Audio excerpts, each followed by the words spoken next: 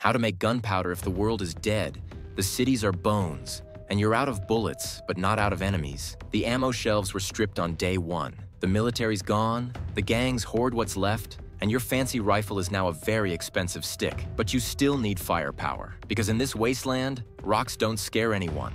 No problem. We're cooking up your own boom dust. Start with urine.